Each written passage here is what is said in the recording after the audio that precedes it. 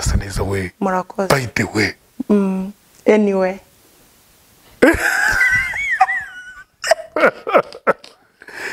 Urasa neza nibwo bwa mbere nkubonye wimakiye. Eh, oya da. Biri serese waje i kigali? Seriye ntuye i kigali. Tiabite u? Umbwira gute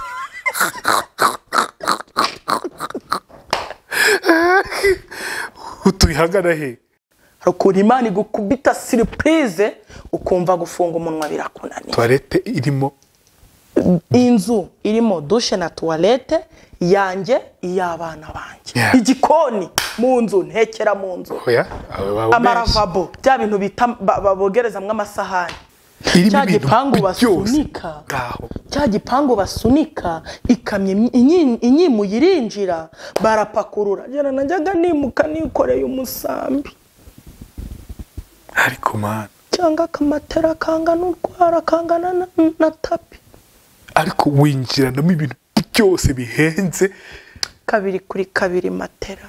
Ibaze ti nase ko nabaga no mu gitaka hatagira agasima ikaro none ndi mu ikaro mu ikaro kuva mu gitaka ujya mu ikaro Hey, nuko yesu umwami ushobora byose. Jesus christ. Kera. Jose ibintu rero mushimira ko ntuye i kigali. Jose komera mwana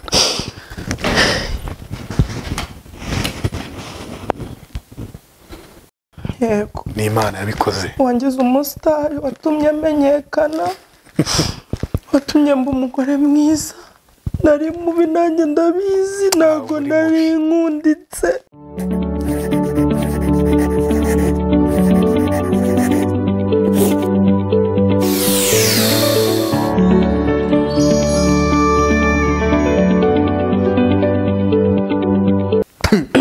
Ni ikiganiro inkuru yanjye twicaye muri sante paka hamwe n'umugore w'ikizungerezi data we bobo. Uri kureba uyu muntu twicaranye bobo uri kureba uyu muntu twicaranye. Hayi bobo. Ntabwo baguhinduriye. Wumva ko bavuga? Bobo arongera aza n'izindi. Rwagukwere arongera aza n'izindi. Agukwere. Anywera ndinde urinde umusaza we. Umusaza wa jose. Dufite mama ariko? Eh, nyanto nyanto nyine Eh. niba muzazifata we na mama. Eh. agukwere. Ni ukuri bobo. Yesu we. Reba reba reba reba zino furesheri reba zino furesheri olivier mbabarira umuhere ku kirenge ubereke ko yambaye ntushingeho. Hotaro oya oya oya ntabwo iki ari ntushinge babyita ntushingeho niko ngo bazita hotaro. Mu kinyarwanda ni ntushingeho hayi hirizi ha? Hayi hirizi hayi hirizi mu cyongereza mu gifaransa hotaro. Hotaro. Mu kinyarwanda ntunshingeho oya tu tuvuge mu kihe kirimi rero. Hotaro. Hotaro? Oke farase farase jose ntukansebye igihe cyose tumaranye. faranse faranse faranse uvuga faranse. Mm, voilà. En tout cas, ngo it's okay turi mu gifaransa urumva ako bobo bobo madamu bobo. Karame, urasa neza thank you. it's too much. Yes. mvuze iki Meze neza. it's too much Meze neza. nabuze ntibirakabije eh Ingo. iyi ngo jose bite Ni byiza. nzi ko mbona wampinduriye Nose ko watangaye ahubwo habaye iki? urasa neza Na bado chunga Reka da. utaona masezerano N'ibindi arimo arasohora.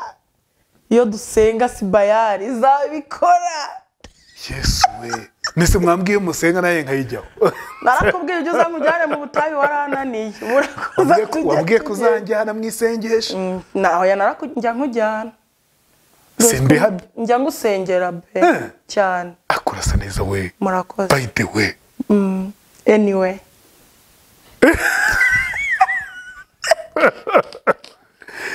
Urasa neza. Nibwo bwa mbere nkubonye wimakiye. Eh, oya da. Ni ukuri bwo bwa mbere nkubonye hano wimakiye ingo ingo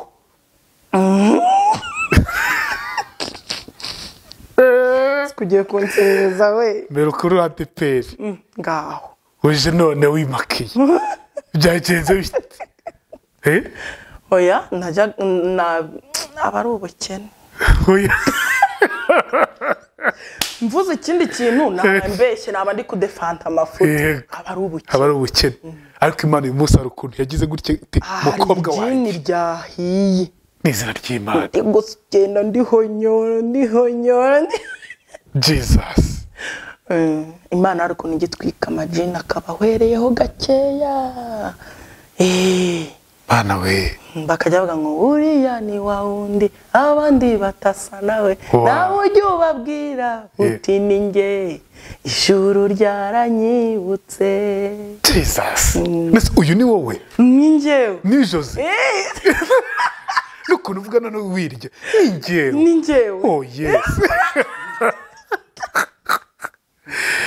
Uyu munsi ngufitiye Eh. siripurize nyinshi. Iyi- ni iya mbere vuga ngo singitaha icyangugu. Are you sure? Yes. I'm sure. Eh, uzi ko uzi icyongereza ba? I'm speaking English. Ntabwo gitaye cyangu no. Usigo bahehe mbi Kigali. Kigali ya kigali? Kigali y'i Kigali mu karere ka Gasabo. Wubatse kigali se? Aho ya Eh. ndakodesha uri muri buraga ariko? Ntuya ntabwo ndi muri burage yatubwiye ko ninimukira i Kigali tuzajya dukora ikiganiro gatatu mu cyumwe none byaje. Byabaye. Ko ngowe. Ubwo unyitege ntimuzongere ariko kumumwishyuza ujya uhora uza wimakaye gutya? Mm, ntaribi biri serese waje i kigali? Seriye ntuye i Kigali. Tiabite u karame? Umbwiye gute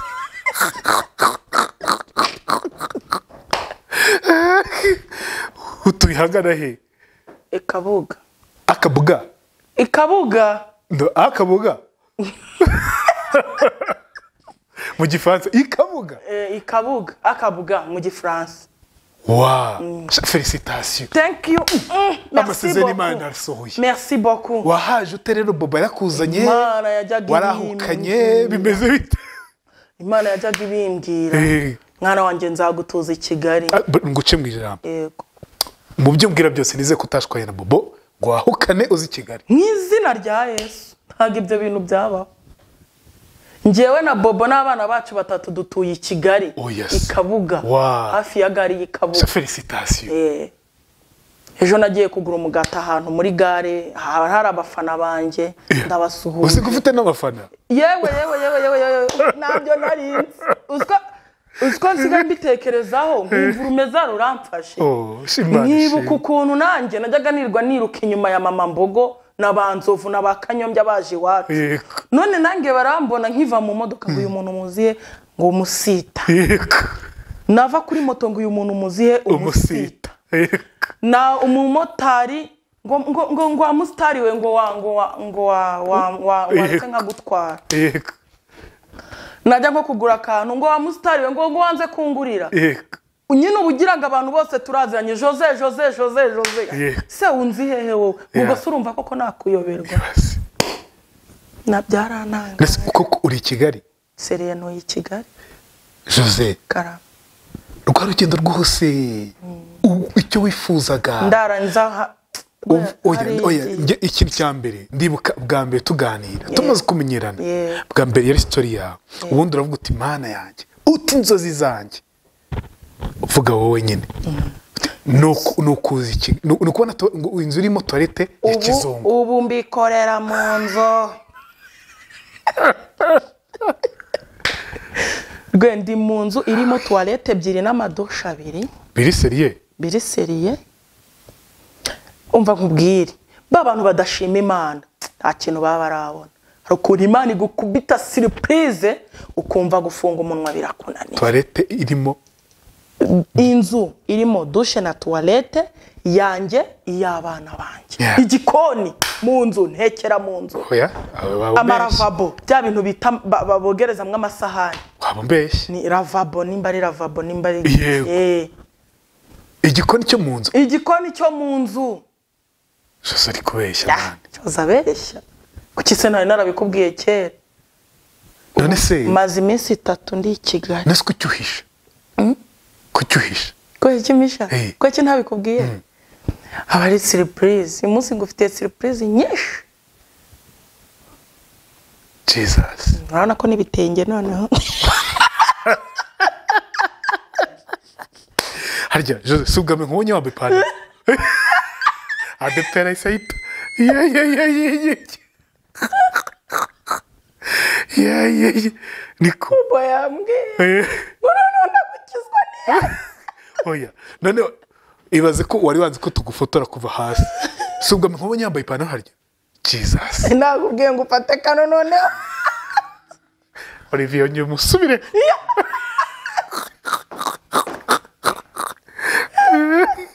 Vamos citar.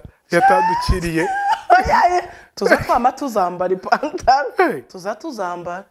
Akadepera ntabwo twambaye ipantaro. Ngo yaje jesi nkira umwadeperi uratwipakuruye jesi nkira umwadeperi ok.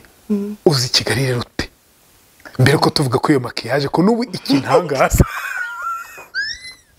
ntabwo bimeze neza sinabisize urasa nabi niyo we ntabwo wabyisize ni njyewe oya seriye wabyisize neza ndabona bisa neza. Na- naragiye njya ahantu nyine babikora. Ba- bampa nyine ibintu babikoresha yego. Ndashaka kuzajya nza kukiganira nawe.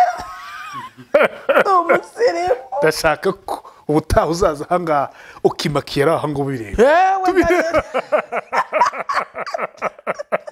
ngo yewe ga yewe. uzasura mu rugo? Eh. Ubu ngubu mba mu cyumba kirimo mirindwi wayo eh? kiriya kintu bakita bagira ikirori. Ikirori bazi. Baga miriwari miriwari eh. mm. uranga ndiba kebe muri dushe hariyo n'itara hejuru imbere. Gerati we. Mana warakoze Tera haleluya. Haleluya haleluya haleluya haleluya igihumbi haleluya double amena double amena dumbre jesus. Gerardine uzi ko nawe kukumenyera buriya nkubwire imana yankoreye ibintu n'imana ishimwe n'uyu munsi ndagenda mu muhanda nkinosha nkagase ni jose biri kubaho hoya mureke dutumire gerard iwanjye ntihazabyemere. Ni ukuri pe. Umbwire nawe sase nzayikugurire ego ko ugeze no kungura esanse wanze kuza icyangugu nje hafi. Eh, abakunzi banjye muri komenti Eh. ntimumworohere ibaze ko abantu bajyaga bambwira. Bakati nuzi cyangwa gusura jose ngo natwe uzatubwire uri kwibaza? Bazi ko inshuti ngira icyangugu. Ari Nubundi niko kare ntarakandagiramo imana ishimwe. Nanze kuzakuvuna wari kuzanywa hafi nk'ibihumbi ijana na makumyabiri. Waje kigali icyo kintu ni cyo kumenya mbere yo kumbwira kuri makiyaje naje i kigali mbo nari maze imyaka myinshi mbisengera. Ntuzi ko najyaga nza kukureba ntwite ngakora urugendo saa tanu z'ijoro mu gitondo tugakora ku manywa nkongera ngasubiraho n'ubundi saa tanu z'ijoro. Nkananirwa. Igeze mfite- imbuto uw'abandi yego. Ariko rwe ndagukunda. Nta kindi nabaga mfite cyo kuguha pe. Yo. Avuga ati rwema ni umukire ikijumba nta giheruka. Ni ukuri ubwo imana ujya ubihaha. Ibijumba. Ndabizi se ibijumba. Eh? ibijumba. Turabihaha. Mujya mubihaha. Eh. nyine nabaga natekereje nkavuga ati gerard ibijumba kuba ari umukire ntabwo aba abiheruka. Ngese ndi umukire ntacyo twikomereza ubu urashyira gerard ibijumba ni ukuri musaza wanjye ndabimushyira nta kindi mfite cyo kumuha. Nkakuzanira ibijumba. Nkibaza ikintu naguha nkakibura. Kubera iki? Mw'abantu uyu jose mureba asa gutya aka kamekapu aka kamakiyaje aka karineti iyi myenda agakweto. Byose ni gerard. Oya aho ngo urakabije oya ntabwo nkabije ndabizi ntabwo ukunda umuntu ugutaka cyane. Tubiziranyeho njye nawe. Ariko gera none se ntaramenyana nawe?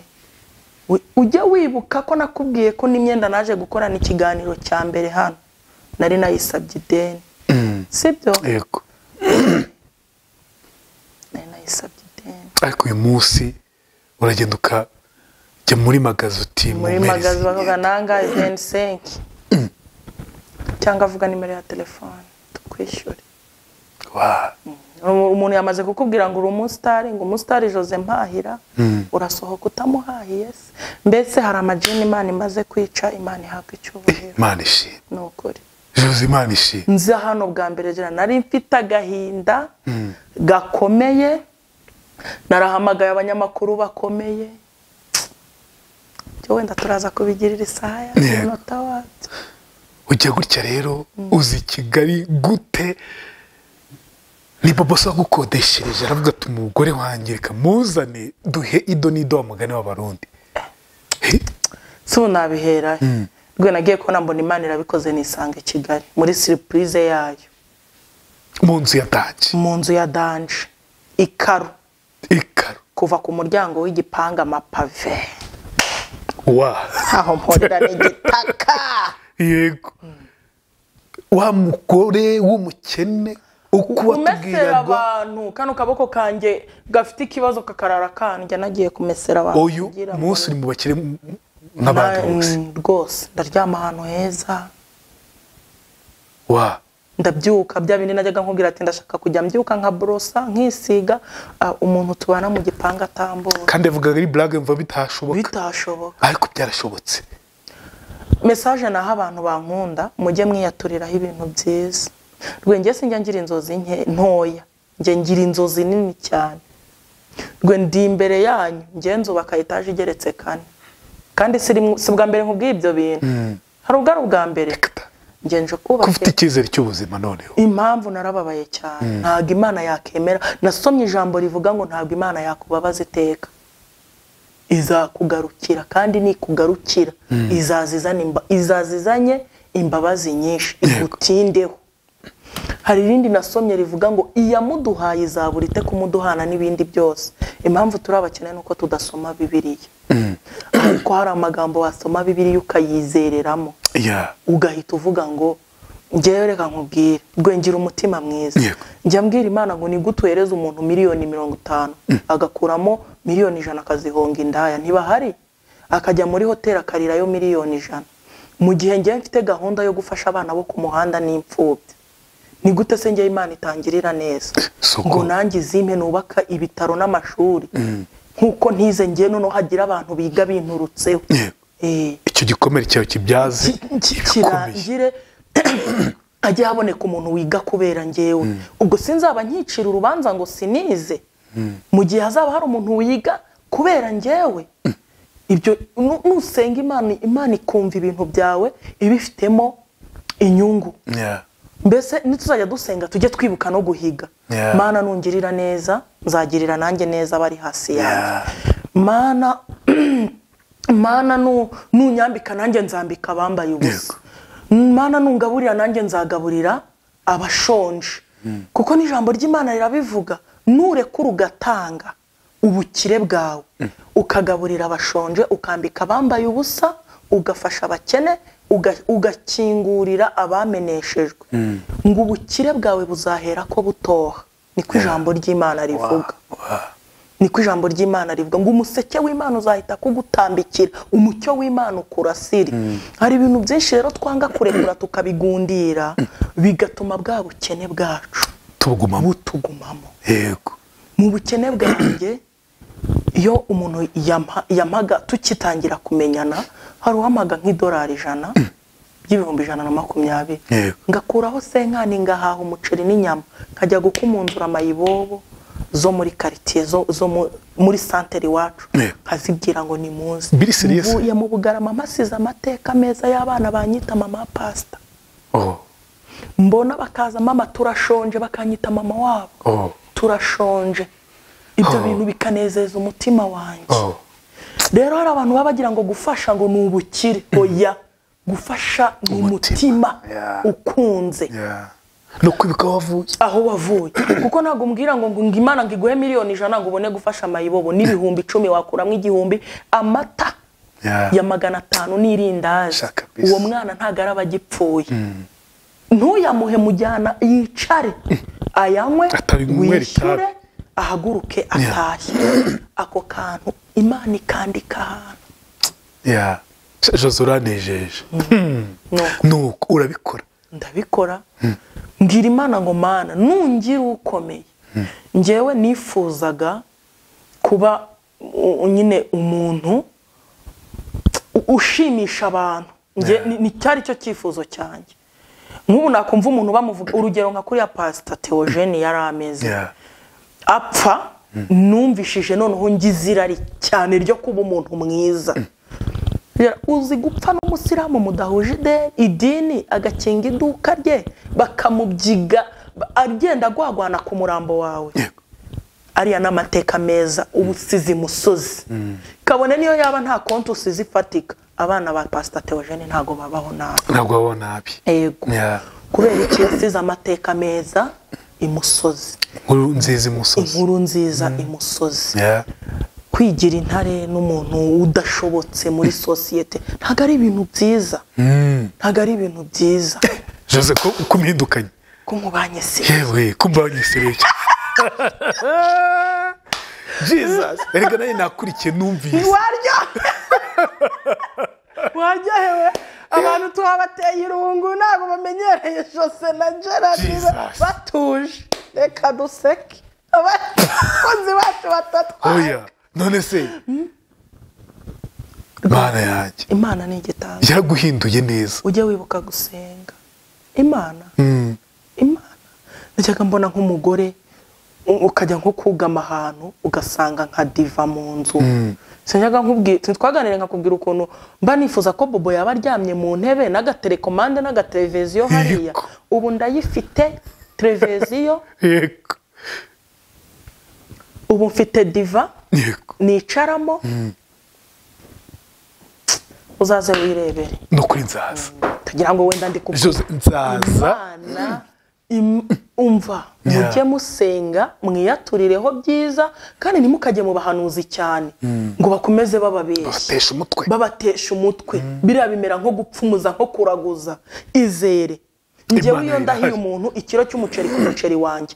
Iyo amaze kugenda mpita mfukama muri sitoke nkavuga mana. Ni wowe mpaye ntabwo ari uriya muntu mpaye. Uriya muntu simuzi ashobora kuba ari n'umugizi wa nabi. Ndi kuzuza ijambo rivuga ngo nugaburira abashonje. Ubukire bwawe buzakuba ufite sitoke Eh, ubu ndahaka ibintu byo kujya gupimisha kuri botike hari amazimu tuba dukwiriye kwirukana ku buzima bwacu. Ni ukuri kw'imana. Cyane. Ufite sitoke ukagenda ugakoramo sitoke umuceri. cyane.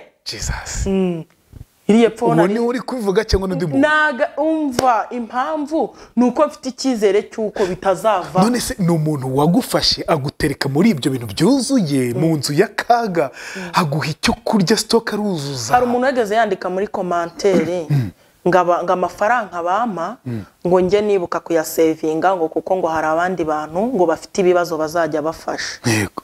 Ngo babashije kumubwira ati ubaye nk'ucyurira jose. Wasanga ari n'umuntu wenda wananditsemo ataranampaye muri make kuva nza kwa gerard rwe abantu bajya bamfasha pe. Abantu mukurikirana gerard ndabashimira. Cyane cyane abanyamurenge. Baramfashije barankunze baranyakiriye. Urumva? Ariko ntago mwafashije injiji.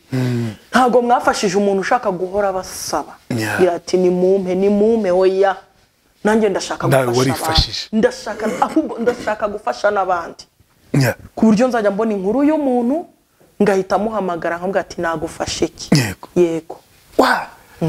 Ndashaka rero uvuye icyangugu umutima wawe wari umeze gute? Uze kunyinjiza mu nzu yawe nziza ikabuga y'amakaro irimo salamanji intebe nziza Televiziyo. z'amadi Eh? Televiziyo. nuko ugiye kuvuga nk'abanyakigali televiziyo ariko televiziyo nuko mbwira sasa rero wari umeze gute winjira muri iyo nzu uri guturamo i kigali najyaga nibaza ukuntu umuntu ubwira asa neza nta gitaka cyamugiye Yego. ugahura n'umugore mu nzira ukabona asa neza nta vumbi rimuriho kumvisha ni ahantu muba mutaha wabibonye? Ahantu muba muba. Ariko se wakogera mu nzu imbuga irapavomye inzira imwe amakaro. Ukazasa nabi ryari? Ukazahurira he no gusa nabi? Uri kogereza isahani mu nzu? Utetse kuri gaze gera nteka kuri gaze? Wogereza nawe mu nzu koko? Muri lavabo? Jesus. Ariko mana ya. Biremera muri yesu biremera. Kabisa. Ibyananiranye muri yesu biremera. Ndashaka gutangariza umuntu nkurikirana. Uzakora ibyawe bucece wirinde ishyari. Uzatumbagira iyo mu kirere. Ubu jose ari mu nzu y'akaga. I kigali? Y'i kigali. Aturutse cyangwa uko nturutse uko uraraguza se? Ntabwo ndakuze. Ndasenga nkizera ubundi nkirinda ishyari. Nta muntu ngirira ishyari. Nta muntu ngirira umutima mubi. Kuva muri buriya buzima bwo kutagira ahuba uyu munsi ukaje gera wumva nkubwire. Hari umuntu wabwiye bobo aramubwira ngo ndakwanga nzarinda mpfa ntongeye kugukunda. Kubera ko waretse umugore wawe akajya kuri shosho mediya kwitangaza ko yari mayibobo Yego. uyu munsi uwo muntu ahantu umugore we nahagarara. Ntiyahagarara. Naho bigeze. Yareze afite segonderi umugore wiwe. Afite n'akazi ka leta uwo mugabo. Ariko nawe arabizi ko kunsuhuza umusitari byamugora. Umusitari umusita. Akora mbona kuri yutube mu mwanya w'ubumbone mugwa na badirishaka imana irahindura. Imana irahindura. Azi ko wampindukanye. Oya jera reka nkubwire. Ariko ni byo jya wihagararaho. Nibyo jera reka ntagira nkubwire umuntu uzakurira mani njyewe nibazaga ukuntu nakodesha ikode ry'ibihumbi makumyabiri na bitanu. Nabyishyura. Yego. Inzu ya makumyabiri na bitanu. Y'ibihumbi makumyabiri na bitanu. None ubu ndi mu nzu mbyuka. Harimo gariderobe nireberamo. Ifite miriwari Eh. noze nkimakiya. Naragiye muri salo ni mu nk'utuntu mukoresha kugira ngo umuntu abe jena nimba ugira ngo ndakubeshya. Jena imana yangiriye neza. Mu mwanya mbonye nimero nshyashya Eh. imbajije ngo tubabarire mbabarira umbwire amavuta wisiga oh yes. Ni ukuri kw'imana ndasetse imbavu zirane. Ndavuga kumbe naha bigeze? Oh yes. Bobo hayi hayi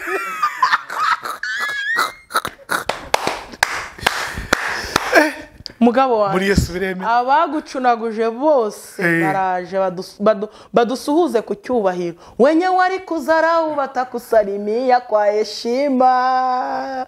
Abagusuzuguye bazagusuhuzanya icyubahiro. Bobo akikubona wimukiye gutyo? Nta- ni siripurize arabibonera ku kiganiro. Ni ubwa mbere nimakiye nawe. Nubwo yambaye imakiye mbara bimeze gute? Nimba ari bibi ntugisohore. Ni izina urasa neza. Olivier ndabeshya. None wirebye muri miriwari nyine mfite mama wanjye uba muri amerika. Niwe wantegetse kwimakiya. Si abandi bana bafite ba mama baba muri amerika. Yo gerard we naje iwawe. maze igihe kinini ntumva ijambo ngo mwana wanjye. Papa yapfuye mfite imyaka icyenda. Mama ahita arwara ajya ku bubabare bw'umubiri. Nta mwanya yari kubona wo kuntetesha ngo anyite kibondo. Ubu mfite abantu banyita kibondo. Ubu mfite abantu banyita mukobwa wanjye. Akaguha keya mu buryo bwose. Mama ndashaka ko mwumvise guhindura ubuzima umuntu. Mwumvise gufata umuntu ukavuga uti mwana wanjye. Utekereza ko ari akantu koroshye ariko kuri jose no ku wundi muntu ufite amateka nk'aya jose. Ni ikintu kinini cyane. Hari abantu bajya ba wumvise kurya ugafata hambaga ukajugunya. Hambaga aho ngaho. Birashoboka ko uyigura amadolari arindwi simbizi uyazanye hano mu rwanda. Ni ibihumbi birindwi kuri jose ni amafaranga menshi. Yesu uri kwibaza icyo kintu? njyewe jera hari umuntu yamamagaraga nkamubwira ati ko mbona ryanze gucya mbabariye ukampa iki gihumbi? Iki kimwe akakimpa nkabikuza magana cyenda.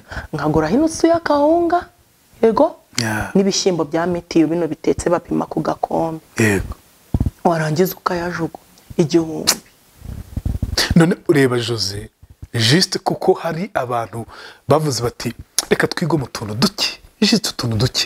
Tumwe twajugunya tuduhe jose. Ariko ureba jose ukuntu asa kubera utwo tuntu. Kubera uwo mutima wawe. Kubera ako kantu gato cyane wiyatse ukavuga uti reka nkamuhe. Uyu munsi jose umutima urishimye. Uyu munsi by'ubuzima. yahindurira isi ubuzima. Naje iwawe njye narapanze kwiyahura inshuro eshatu. Ariko ubu njya mvuga ati manu mbabarire kwa biriya bintu. Ati nanjye nari kuzaryama aha hantu ryari? Bibe n'icyigisho ku bandi bantu ariko twumva nimukiyahure mwa bantu. Hari umukobwa wamamagaye yabonye ubuhamya bwanjye ndi guseka. Abanza abona cya kiganiro cya mbere twahereyeho abona ko ibi tumaze iminsi dukora twisekera arampamagara arabifotora ibintu ari gukoroga yari agiye kwiha ngo yiyahure. Arambwira ngo jose nemeye ko imana ibasha guhindura. Singipfuye. Noneho hakaba hari nk'umuntu umfata nk'umusazi. We akagira ngo ngo ibyo ndimo nasaze. Ariko abo ni abanyeshyari Yego. ni umuntu udafite ubumuntu muri we. Kandi njye mfite ubuzima bw'umuntu narokoye hariya. Hari ikiganiro twegeze dukora tuvuga ku ngo ku- bintu byo gufasha ingo umumama yarampamagaye arambwira ati jose wo muri sahuzi South Africa? Yego. tubu tuvugana nari mvuye kwishyura inzu yo kwahukaniramo. Ariko ku bw'ijambo uvuze ngo agaciro k'umugore n'umugabo. Ndayareka ahombereyo ndasaba umugabo wanjye imbabazi twapfaga ibintu by'amafuti menye ko agaciro kanjye ari uko nitwa mukarunaka. Jose. Uzi kuri icyigisho? Gikomeye. Ndetse urumva bimeze bite kutubwira ibintu biri seriye gutyo? Ni inzozi zanjye. Ubundi ngende seriyegera. Uri seriyeze ngende seriyeze Mm. urumva? Ariko biriya bintu tujya dukora byo gusa banza ari nk'impano yanjye. Ni nk'impano imana yampaye ngo abantu mbavure siteresi gusa wowe ntabwo uyivura. Ujya ugira siteresi njye sinjya ndaka njye mba ngurira umuntu ndi kumusetsa. Mu- umushyitsi wanjye mba ndi kumusetsa. Kandi njyewe nkabona ari ibintu biri aha ariko nabivuga nkabona umuntu arasetsa arategura. Nshobora kuba nsekeje koko gusekeje ko nshobora kuba nsekeje nkabibona nyine ko wenda ari ibintu biri muri ngewe yego. Ariko ku bantu bajya bavuga ngo ndi ikigoryi ndi igicucu hari abantu bajya ariko ni abantu bada- bada- badakijijwe. Ntibasobanutse. Njye ndi seriye mfite ubwenge buzima bukora neza. Ndi umumama wiyubashye. Njyewe ibyo nkora ndabizi cyane. Eh, abantu barababaye tugomba kujya twisekera. Ni ukuri pe. Ariko uyu munsi wabaye we. Ariko byari ngombwa. Iki kiganiro nta bantu bakireba. Turi Jesus. seriye cyane nta muntu uri bukirebe barakireba. Tuba dukeneye amateka. Mbese jose ujya kugura ino pantaro reka nongere nyigarukeho. Ujya kugura ino pantaro wayifashe uravuga uti reka ngende nipime. Ni bobo ni bobo wabinyeretse arambwira shari ndashaka uzagura iyi myenda. Ndabona yakubera. Ndambwira ati icyifuzo cyawe kuri njyewe ni itegeko mugabo mwiza. Ariko mwubaha abagabo we. Ariko nabo kubahwa Eh, kandi umubwira gutyo koko. Seriye cati nazi kwereka nuzegera reka nkubwire. Jose uryama wa mayibobo waryamaga ku muhanda. Abasore ba- bahinga badafite icyubahiro nk'icyo bobo afite. Birirwa bambenga uko babyumva bancunaguza ngo sinzahinga ngo nimbyara ngo ninde uzansura kwa muganga ngo ninde uzampemba. Bambonera mu tuntu turi aho nyine twi- tw- tw- tw'ibigaragara turi aho ngaho. Bobo wahumuka amaso abona ko navamo umugore nkanjye. Uwo mugabo ntakwiye kubahwa. Ni ukuri pe. Ese bobo wamuteraga sitori nyinshi ku buryo yavuze ati ariko reka mutware ajya ntera sitori ikinyamurenge ni cyo cyankoreye umuti. Seriye. Ikinyamurenge bobo namuvugiraga ikinyamurenge kama mubwira ukuntu papa azomuha inka nyinshi kama mubwira ukuntu papa yitwa rukara kama mubwira ukuntu undi umusita bobo agaseka agatembagara. Ati nkarongora wowe. Ati uyu ni radiyo umuntu yaba yizaniye. Ita- itari soniteke ariko wa? Mbese umutima umeze gute jera ndishimye pe. Okay nyuma y'uko bobo bamuciye intege bati uriya mugore uzanye barazimuciye. Uyu munsi ariko ukaba uri umugisha kuri we. Ase gira mbabarira umbwiza ukuri wenda n'abatureba baze kubitubwira. Ubu bobo yaribeshye kungira umugore we? Hegura icyuki. Sindi icyuki. Reba kamera ukuntu. uzi impamvu se? Ni ukuri gerard mw'abantu mwe munkurikirana cyangwa mw'ababyeyi mwe n'abakobwa cyangwa wa musore we nawe ufite icyangiro gerard igihe isi kwanga nawe ubwawe ukiyanga. Njyewe nahushije kwita mu ikamyo ngo ingonge. Ndavuga ati nibangonga musaza wanjye azamburana bamuha amafaranga we basubuke nazabusezerere urumva? Agatima kakaza kakambwira ati hoya komeza uhanyanyaze ariko njye nkunda ubugingo nkunda gutekereza ku bugingo. Mwibuka ko umuntu wiyahuye atabona ubugingo. Noneho rimwe ho narabikoze ngarukira kuri umumama turahura ngenda nikoreye amaboko gutya ndikurira numva byandenze ngomba kujya mu mugezi wa rusizi. Umumama arangarura. Ndamushimira imana imuha umugisha ko yatumye uwo munsi narwo nducika. Eh. noneho njya ndeba abana beza mfite. Uzansore twereke abantu abana banjye njya ndeba abana beza mfite iyo bari kuntetaho mama nuza utuzanira umugati. Jera amarira akamanuka nkavuga ati baze cya gihe iyo biba nkiyahura. Ntimukabikinishe. Bantu mu nkunda ntimukabikinishe. Uko ubuzima bwakomera kose. Ubu mfite icyizere ko nzurira indege. Mfite icyizere ko nzajya nywera akaji muri mu- muri muri nivo ya kane. Ndi kureba, eh? muri nivo ya kane etaje yanjye. Eh. Eh, muri Oh, yes. etaje cyane. Mfite icyizere ko nzagura imodoka randi kuruza y'umukara. Cyangwa ranjirofu njye nzayitwara Gusa ni- uzi nu- nu- nu- ni n'ubwoko amoko bwazo y'imodoka mba nicaye kuri moto ngenda nsoma nsoma nsoma Oya. nkavuga ati iki byibuze iki byibuze iki ngiki. Afazari. Nicyo nshaka. Nicyo nshaka. Mujye mwiyaturiraho ibintu byiza. Mwikuzeho za karande z'imiryango. Nimba warabyawe n'indaya ntukumve ngo nanjye nzisiga amavuta nsambanye. Nimba warabyawe n'igisambo ntukumve ngo nanjye ngo nzatunga telefone mbanje kuyikura umuntu mu mufuko. Amateka uyangu yikureho burundu usigare ubifata nk'amateka. Cyakoze. Ubu nkanjye ntanyise mayibobo nshobora kugufungisha. Nta n'ibyo nzi nta n'ibyegeze bibaho. Nta no ku muhanda no no no no. Ni ukuri pe imana ishimwe imana ni nziza. Dukundisha abantu imana jera. Ni ukuri pe burya imana niguteturura ntuzibagirwe izina n'imana. ntuzibagirwe kuvuga imana. wumvise ukuntu joze ibyo avuga byose. Ati ntimukibagirwe imana. Ntimukibagirwe jose nawe imana ntukibagirwe gusenga.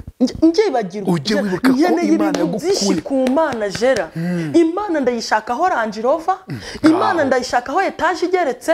Mbere ya etaje ndashaka kadasiteri yanjye mu mujyi muri kigali. Imeze nk'iyo ndi gutaha ariko iyirenzeho gahoro. Haha muri kadasiteri rega. Imana nyihenureho. Wapi? Kandi ntukihenure ku mana wihenura ku bantu. Banza wibaha umuntu muri kumwe ureba cyane. Buriya ni cyo kintu ngukundira nta ni cyo n'abantu bagukundira ufite icyubahiro urakunditse wakabaye usuzugura abantu. Jera abanyamakuru nagiye mpamagara.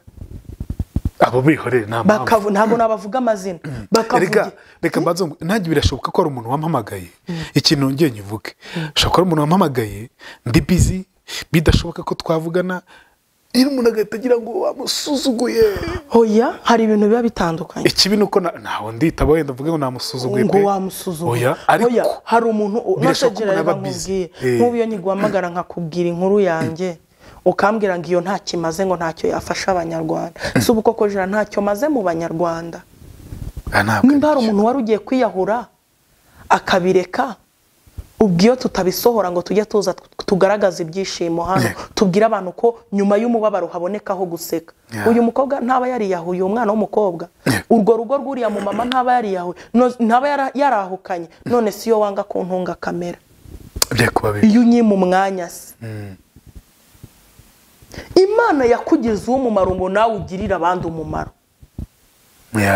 Imana yakugize uw'agaciro ngo nawe uhereze abandi agaciro.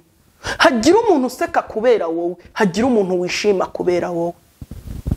Jose imana ishimwe ku bwawe. Ni ukuri habwa uzi icyubahiro impamvu ni bwo bwa mbere dukoze ikiganiro tudaseka kugeza uyu munsi ibintu birisere kandi biryoshye. Wumva ukwiye kubyumva. Ni ukuri kw'imana. Imana ishimwe. Hari abantu ugakora imana ishimwe kubw'igikundo yanaguhaye. Imana ihabwa icyubahiro. Ibyo byo bisigaye bindenga jera bikandenga umugabo agaparika ikiranjiro. Akavuza amasoni akavuza amasoni motari agahagarara. Ati ni nyabikiza ndi gushaka umusita. Akansuhuza. Wa. jera mpita numva nuzuye amashimwe. Njyewe nabaye mu mudugudu. Umutwara sibo wa wundi uyobo- uyobora inzu icumi. Atamana mwiriwe mayibo bacunga udusafuriya twabo ntaza kutwiba mwana. None uyu munsi uri bosi i kigali. imyenda abanitse imyenda ba- bakayicungana na yo ntahanyura. None uri bosi i kigali. Nta mubyeyi wamakara iwiwe ngo mpamare ukwezi. Mayibobo ifite utugeso uburaya ibintu nk'ibyo. Niyo shusho tubonera muri mayibobo mu mwana wo ku muhanda. Umukobwa noneho. Yewe w'umukobwa none ubu ndi umugore w'umugabo wiyubashye w'ibogari mwiza utanera isoni guperezanta no kwereka isi yose naramuzanye imbere ya kamera. Watanje kupure itambuka abantu bakayivugaho. Sone pa posible ce n'est pas possible c'est possible. C'est possible. C'est possible birashoboka Ya. urumva bakavuga ati bishoboka bite amina. Tujye dushima imana. Tujye dushima imana. Nta hantu kuri habaho imana itagukura. Njye reka nkubwize ukuri dukorana ikiganiro bwa mbere. Naravuze ati imana kuko nagukurikiranaga kuri televiziyo.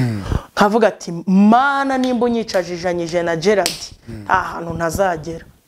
Ubu nta munyamakuru wankanga ngo ngo ibiki? Gerard arampagije ni ukuri.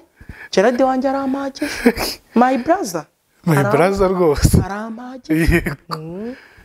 Arampagije jose njye ndashaka umpa ishusho yo kuva mu kazu k'akaruri ugahita winjira mu nzu ya danje i kigali. Cya gipangu basunika. Cya gipangu basunika ikamyo inyi- inyimuye irinjira barapakurura. Njyana najyaga nimuka nikoreye umusambi. Ariko mana cyangwa akamatera kangana urwara kangana na, na tapi. Ariko winjiranamo ibintu byose bihenze. Kabiri kuri kabiri matera. Ibaze ahantu heza hamwe njye nsigaye ndyama saa tatu iri mu zikagera. mamiliyoni salo. Uri kubyumva cyane. Mm, mm, nkaryama kubyuka bikanga. Nkaguma gusa numva nshaka kuguma nihinduranya nihinduranya jesus. Ariko yesu we ujya utabara uzatabare n'abandi bantu bababaye Nda- ndashaka gushushanyiriza icyo gihe rero. Winjira muri iyo nzu waje gutuzwamo i kigali. Ndashaka ubishushanyiriza byari bimeze gute uwo munsi? Jose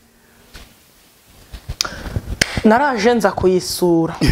Nje kuyisura nkajya mvuga ati ibi bintu ntabwo bishoboka. Ntabwo ari iki? Ntabwo ari njye nkabwira bobo dushobora kuba turi kurota dusinziriye. Tukazakanguka tugasanga ibi bintu nta bihari Ya. inzu ndayishyura mbona ninjye wishyuriye njye ubwanjye. Nyir'inzu turandikirana. Mbona ansigiye amarangi. Kandi numvaga wejyamo inasuku isa yesu yari nziza. Yari nziza. Ya. yarambwira ati mu mezi unyishyuye ni we wabyivugiye nyir'inzu? Ti nase ko nabaga no mu gitaka hatagira agasima ikaro none ndi mu ikaro mu ikaro kuva mu gitaka ujya mu ikaro nuko. Yesu umwami ushobora byose. Nuko. Ubwo tumaze kuza. Ngewe ubwo nyine itariki yo kwimuka baduhaye bazaba barangije gusigiraho amarangi. Nkajya mvuga ati ntibizashoboka wenda nzapfira muri nyungwe ntaragerayo. Nkajya mvuga ngatinya kwa kundi umukobwa bari kwitegura gushyingirwa ati hatagira impanuka imubaho mbere y'uko ashyingirwa. Nanjye nabaga ndi kwirinda urupfu. Nkicunga. Gati warupfuwe twubahane nta gahunda dufitanye mbere y'uko njya gutura muri iriya nzu. Umutima wanjye uranezerewe. Buri muntu wese wabigizemo uruhare. Imana izamuhe miliyari nyinshi z'amadolari. We wampaye idolari ijana nkaba nsa gutya. We wampaye idolari igihumbi nkaba nsa gutya. N'igihumbi se? Jesus. We wampaye arenze igihumbi nkaba nsa gutya. Yego. We wampaye ibihumbi birindwi by'amanyarwanda. We wampaye ibiceri magana atatu wowe utaranyumviye ubusa. Wowe utarumviye gerard ubusa. Imana izakunezeze nk'uko nanjye nezerewe ku rwego rwanjye. Amina. Izakunezeze. Amina. Wowe watumye nanjye ninjira muri shopu nka shopinga ukambara neza wowe uzinjire mu mashopu ya zahabu. Yego. Iminwa yacu iyo ukiranuka irarema mubifate nk'ubuhanuzi bukomeye mwebwe ndi kubwira aho muri hose Iki mu ni igihe bihugu- cyawe, mu babwire. bihugu bitandukanye. Nabyifuje kenshi. Gerard nifuje gushimira abantu kenshi. Nkumva ntewe ipfunwe. Avuga ati ese nimba ivuga n'ubundi ejo ngasubira hahandi ariko mfite ibyiringiro ko ntazasubira hahandi ninkomeza kwitwara neza. Ngakomeza kubaha imana. Ngakomeza gusenga nkirinda ishyari. Nzagera kure. Jose ni umwana mwiza afasha n'abantu. Hari n'umuntu runaka wenda tuzamubereka igihe kimwe ati gera ndashaka uyu muntu tumufashe afite ibibazo. Ni ukuri pe umwana w'umukobwa cyangwa umudamu ukiri mutoya ati ndashaka uyu muntu tumufashe afite ibibazo. Ati uyu muntu ndamutse jose ko numva bitari kuvamo se ati wenda ubwo isaha niragira ati ariko tugomba kumufasha. Bizagenda neza. Yego jose. Urumva gerard? Gerard nimba imana reka mbabwire. Nimba ufata nimero ku kiganiro ugaha umuntu amadolari atanu. Nawe umuzungu azaguha amadolari mirongo itanu. Nimba ufata umuntu uri gutabaza ukamuha igihumbi ufite nawe imana izakuramburira akaboko. Nimba ushyigikira abandi nawe imana izagushyigikira cyane. Nimba waranteze amatwi nawe perezida nyakubahwa azagutega amatwi. Uzicarana na perezida uravuga agiye se wowe nyine? Kubwira ubwo abahanuzi busohore. Niwe ndi kubwira Yego. kuko nimba komantere magana atanu ari imana iguha umugisha rwema imana iguha umugisha rwema imana iguha umugisha imana iguha umugisha ntabwo imana ari igipfamatwi. Izawukugeza. Cyakoze. Izawukugezaho njyewe mwa bantu mwe. Iriya migisha munyifuriza muri komantere ngo imana ikugeze bijya binsohoraho. Njya mbibona. Namenyanye namwe nambaye imyenda nasabye ideni. Iyi myenda nambaye ni myiza ariko nayishyuye amakashi yego. Amafaranga. Kandi nayiguriye ahantu bita muri shike Eh, mu mujyi wa kigali. Ndinjira ntayoboza nanjye ubu ndi i kigali. Hmm? nyine arabwira imana ngo nishyingurwa mu bugarama si bizavamo. Ariko ubu ndi kubona ko noneho nzashyingurwa canada. Jose none urabivanze? Ehe, ntabwo mbivanze. Urabivanze? Ngera ntabwo mbivanze. Nge- nde- ndekera kwizera kwanjye. Uyu uza- ngera washyinguye iwanyuze iki? Njyewe ngapfana ubwenegihugu bw'u rwanda. Nzapfana ubwenegihugu bwa canada. Oya. Yesu no Kristo. no. Rega canada ntabwo iruta u rwanda. Ndabizi u rwanda ni rwiza ndarukunda rufite umutekano ndarukunda ijana ku urashaka ijana. kwambuka ukajya no hanze? Nkurira indege jera. Nkica abazimu bose bagapfa. Basi basi uzagende ujye canada? Nta kibazo. Ugaruke mu rwanda. Upfire mu rwanda nifotoze n'ubusaza ndi ahantu kuri rwa rubura njya mbona abantu baba bapositinze kuri za nimero zijya tuba Nta kibazo. Ariko jera nkoherereza agafoto nkubwira ati amuforomu canada. Ubwo nagize ngo twamuforomu canada. Nkubwira ati ubu ndi canada se nuko babivuga. Rero uzashyingurwa irusororo kuri kwegera. kandi ndi mu murenge wa rusoro birakatsirwa ibyo tubiretse kwi- oya aho aho nashyingurwa hose. Amarira nari mfite ntabwo asa n'ay'uyu munsi. Shaka bisa. Gusa imana izandinde gupfa nkiri muto? Oya. Ndashaka kurera abana banjye ibyo bireke. Ngateta. Mm. ariko mpyisi yaravuze niwirinda inzoga ukirinda gusambana urarama. Ubwo nzabyubahiriza byubahiriza nzabyubahiriza ubwo nibitaba uko nguko uko imana izaba yabishatse. Sinzanywa inzoga sinzasambana ubundi niramire. Ndame. Eh, hari ibintu byinshi bitubaho tutabigezeho nuko. None se ndashaka kumenya umuntu uri inyuma y'ibyo byose. Wamubwira buriya aya uyu munsi ntabwo ndi bumukubwira nzamukubwira. Wadusuye ubutaha. Ubutaha. Wadusuye mu rugo. Ko mpari? Wadusuye mu rugo. Icyakora yakuntumyeho. Je rweme. Reka da. Hari umuntu wakuntumyeho? Mm. ushaka kugushimira kubw'umutima mwiza ufite? Mm. kubw'umutima mwiza ufite wo gutega abantu amatwi? Gerard ni umugabo mwiza w'iboga usobanutse yagusuzugura uko abyumva arabyemerewe ariko gerard yubaha abantu bose mbese izina ni ryo muntu ni imbabazi ni ubwo imbabazi urantomoye nawe ndabyemera. Pe ni imbabazi rero nabwiye umubyeyi wanjye ko nifuza kugushimira. Ku ruhande rwanjye ndagushimira ku ruhande rwanjye. Hari mesaje yampaye ndi bugushyikirize uri busomere kuri kamera akabyumva ko wayisomye. Kubera ni umumama aba muri amerika hari umushinga ahagarariye. Mm. Mm, ariko urabanza usome mesaje yawo. Ni ukuri I- iyo mwabantu telefone si iphone. Niko. Eh? oya da Ntiyayo. akira soma ubutumwa bwawe iyi ni siripurize mubwiza ukuri ko jose ibintu bya mesaje none ntiyigeze abimbwira jesus christ urasoma cyane Nyisome yose se? yose mami yumve umubwire ko imirimo akora imana izayimuhembera umubwire ko imirimo akora imana izayimuhembera. Uti iyo avuga atuma umuntu yisanzura agatinyuka kubera ikimuntu afite. Fasha umwanya wo kumushimira cyane bivuye ku mutima ko nyuma y'akazi nari niriwemo naniwe nafunguye televiziyo mbona umwana w'umuhungu wababaye wakorewe iyicarubozo nabonaga amarira ashoka gusa ngira intimba ikomeye cyane mbona nta kindi nakora usibye kuba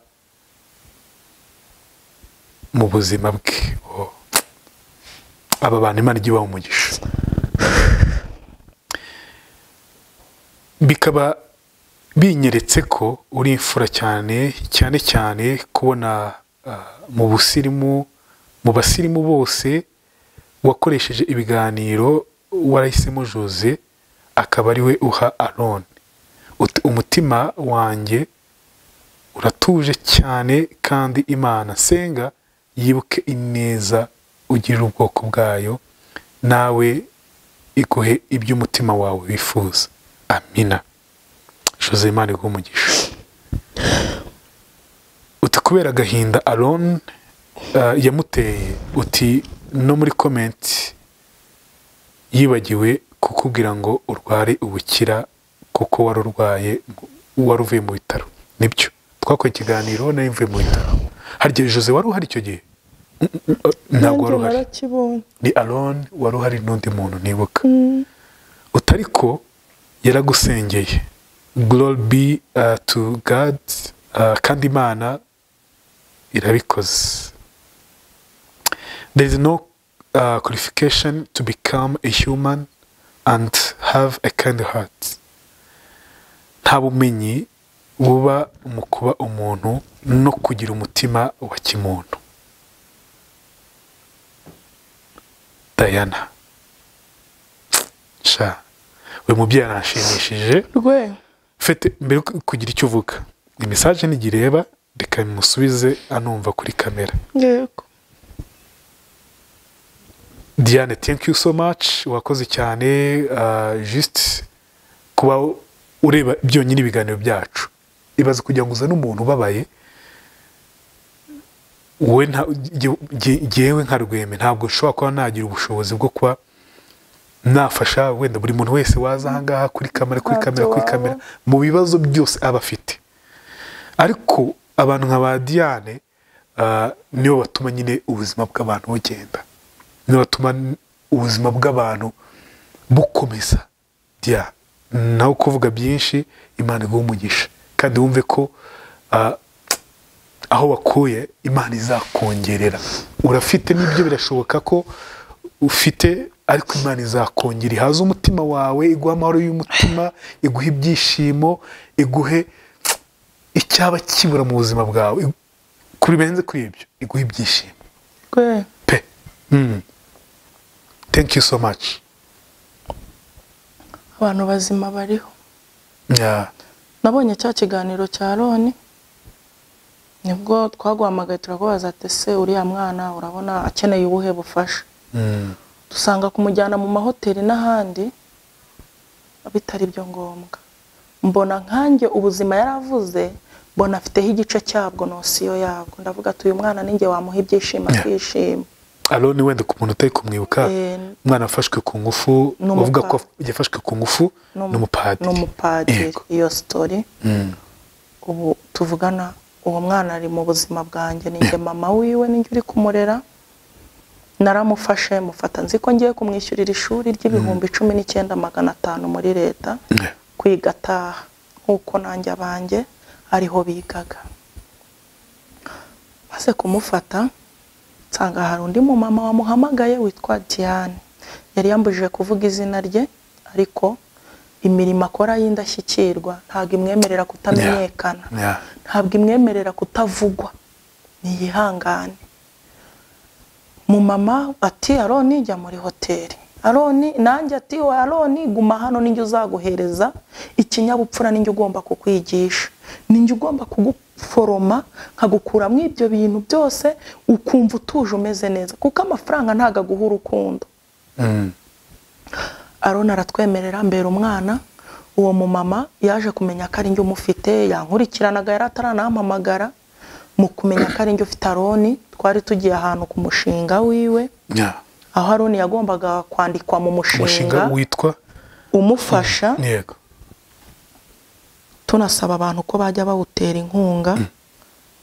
Buriya idolari rimwe umwana w'umukobwa akabona kotegisi rirabaye. Idolari rimwe ni umushinga witwa international community center icc baremewe bakorera hariya kimironko hafi y'isoko. Bafite ibyangombwa byemewe na leta bahawe na leta y'u rwanda uraz- uremewe mu rwanda. Mujye mubatera inkunga bafashe abandi bana benshi nka aroni. Aroni rero ubwo turi kwiruka mu bibazo byo gushaka ikigo na bobo uwo mumama diane amaze kumenya ko ari njye umufite arambwira ati hoya wishaka ikigo umwana yiga amataha. Yishyurirwa amafaranga ntari buvugire kuri kamera ariko aroni yiga mu kigo cyiza. Cyiza. Cyiza kabisa. Mm. cyiza. Muri pirive ahantu higa abana b'abakire Gihandi nari ndi kwibaza ngo cumi n'icyenda magana atanu nzajya nyakura he? Ica mu nzira. Diyani arahaseruka arambwira ati muri kijyanye kwiga kwa roni umushinga wacu uzajya umwishyurira. Diyani tujya guhura n'abo bantu yatumye nsangira n'abantu bakomeye abo bakorana muri uwo mushinga. Ndira muri resitora ihenze bwari bwo bwa mbere. Diane nari ntararya inkoko. Diane yatumye njya ku nkoko najyaga nkunda kugusaba inkoko kenshi. Ukabura umwanya wo kujya kuyingurira ntabwo ari ukuyibura. Wabaga ufite abatumirwa benshi ntabwo zari burage njye nari ntararya inkoko kwa kundi yo muri hoteli. Cyangwa muri hoteli reka mvuge gutyo. Agafiti agasaradi inkoko yokeje. Ngo nyirye nyitanyagure numve uko imera. Byari bitarambaho. Diane ni we watumye njya ku nkoko. Imana imuha umugisha. Diane uzicarane na ba tarampo uzicarane na perezida paul kagame. Diane uzamenyekane. Diane imana izakugeze kure. Mesaje yawe kwa gerard nayishyikije. N'abantu batabizi ko gerard ari umuntu mwiza. Gerard ni umuntu mwiza. Naje kwa gerard mfite imyate ndabyibuka uyu munsi njya muri salo bakankorera inzara. Aya makiyaje ariko. Kubera gerard gerard ni we waduhuje n'abantu gerard ni we waduhuje n'abantu. yivugire jose yego. umugisha. Yego. Niwe waduhuje n'abantu. Olivier wansingirije biriya bintu byanjye. Iriya amverope na kariya kantu kandi biri kumwe. Jesus christ. Jesus christ. Kera. Jose ibintu rero bifashe indi ntera. Nari nabikubwiye ariko ko uyu munsi ngufitiye siripurize nyinshi. Iyi amverope harimo dokima harimo urupapuro rwa diane. Ngo nari nzi ko ari ari ari bobo. Wazaniye ururabo? Ntawe uhari. Iyi amverope irimo urupapuro rwa diane. Eh, biriya ni byo yemeye gusomera kuri kamera. Uru rupapuro uraza kurusoma uri iwawe. Diane aragukunda cyane ubwo ibintu ashaka kukubwira uraza kubyumva. Murakoze cyane. Izi ndabo ni izanjye nshaka kuguha. Eh, biri seriye nifuje ikintu naguha jera nanjye nakuzaniye indabo. Nanjye nagiye mu iduka ry'indabo. Izo ndabo ni izawe? Ni izanjye. Izi ni izanjye. Ngiye guha gerard imbabazi. Mushimira ko yanyakiriye akaza mu buzima bwanjye. Mushimira ko yamuje n'abantu bose mfite aka kanya. Mushimira ko nsigaye noga nanjye ngacya. Mushimira ko ntuye i kigali. Jose komera mwana.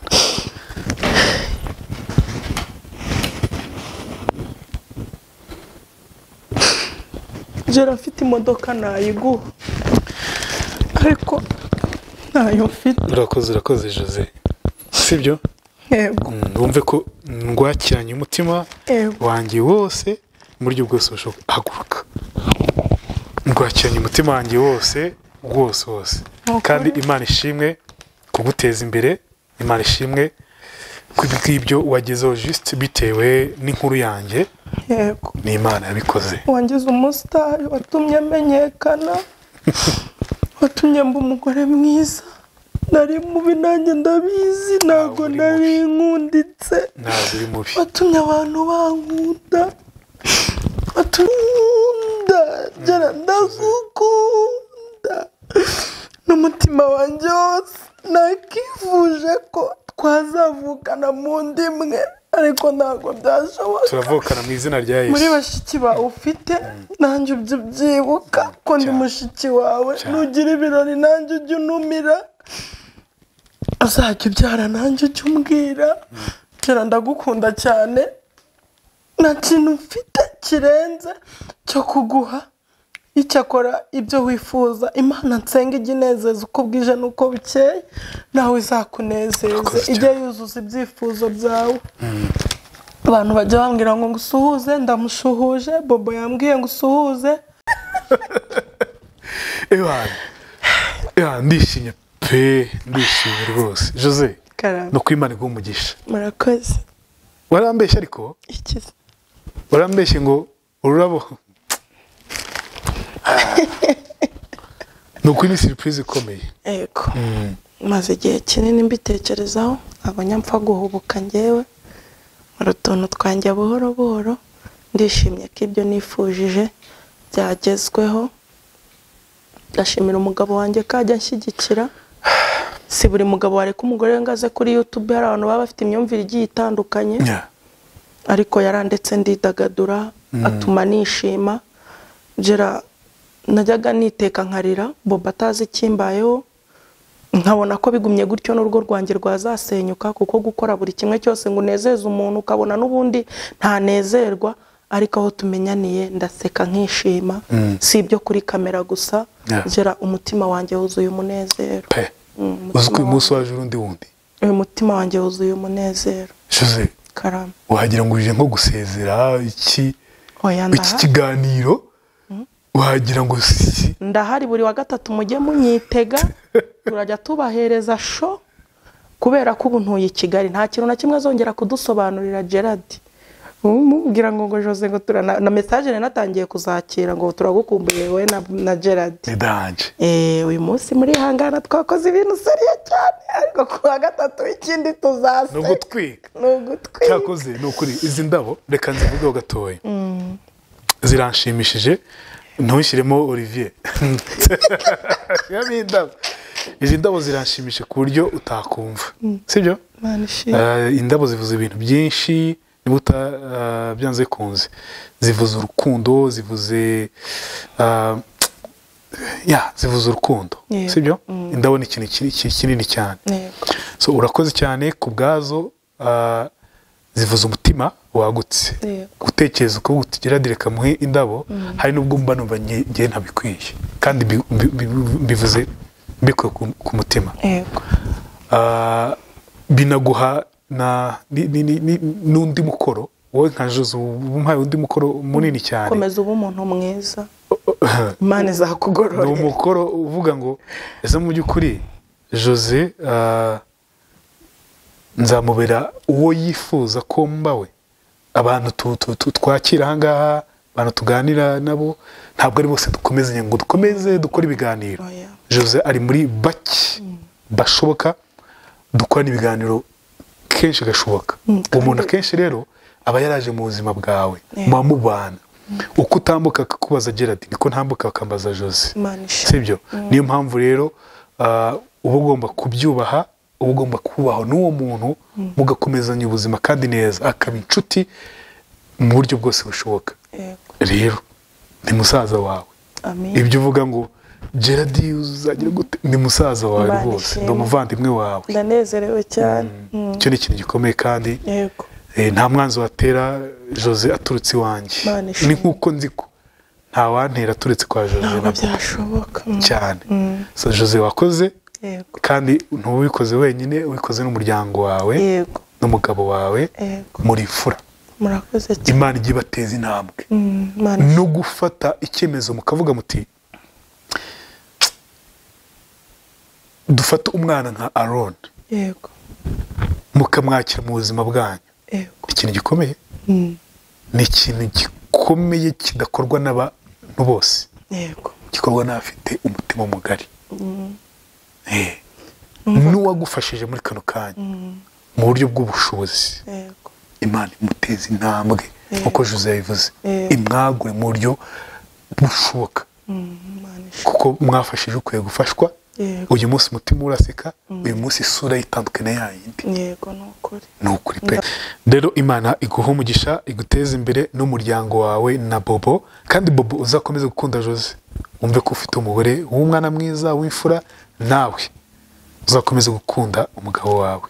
Burya ikintu cya mbere gituma tugira igihugu cyiza ni uko bihera mu miryango yacu. Iyo jose afite urugo rwiza n'umugabo we. Mm.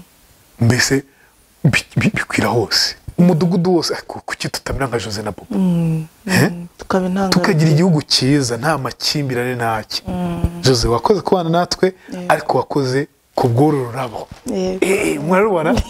Uruzi ko rusa n'imyenda wambaye. Kugira ngo ni igihe arwiguriye kandi ari yeah, yeah. thank you thank you thank you. Man I'm umva sinzi I'm thankful ndashima cyane Yego. cyane cyane cyane cyane. Eh? Eh, imana ibamugisha rero mwese. Jose hari umuntu uri kutwumva ukeneye nimero zawe twongere tuzivuge se? Nta ndazishyira hasi ukomeze unkubitire jose Eh. nk'idolari byose. Eh. Eh, inzu arimo tuzababwira ukuntu yayijemo ntazayisonzeremo yego ni ukuri cyangwa ngo nsubire hasi nyine ngo njye kuri ka kandi ka makumyabiri na bitanu. Imana ikomeze ibigenze neza. Ni ukuri kw'imana let's do this. Fata nimero yawe uyivuge ubundi ushaka kubikora bikore. Kandi ndabizi ko tuba dufite abagwaneza benshi. Oya barahari. Maze kubibona abantu beza barahari. Kandi imirimo dukora hari ahantu yandikwa imana izajya igenda itugora ni zeru karindwi umunani cumi na gatatu gatatu icyenda kabiri mirongo cyenda. Mm. nongeye soza nshimira diane. Diane thank you so much. Diane ahari thank you so much kandi imana imuramburira amaboko menshi nk'uko nawe ayaramburira abari hasi ye nawe aramburirwe n'abamurenzeho. Yeah. Nawe ashyigikirwe cyane cyane umushinga we imana iwuhagararemo iwutere inkunga umushinga witwa ICC International. Community Center ni ukuri thank you so much Yego. first of all gufasha Aaron n'abandi bana bakeneye afasha ubufasha abana bafite ubumuga. Afasha abamama bakomerekeye mu rushako. Afasha abantu nyine bafite ubumuga yaba abakuru cyangwa abatoya. Abana kwiga byanze afasha abantu kwikura mu bukene. Ibintu nk'ibyo. Eh, ushobora iguhe kuvuga ati nabuze uko mbifasha mbikora nyura kuri Diane wagushyikirije inkunga yawe kuri abo bantu. Ubwo ngubwo imana izajya ibigenza neza. Izajya ibigenza neza. Ngayo ngo imana ibahe umugisha nitwa rweme mbabazi naho utaha kandi mukomeze ebana muryoherwe n'ubuzima. Yego.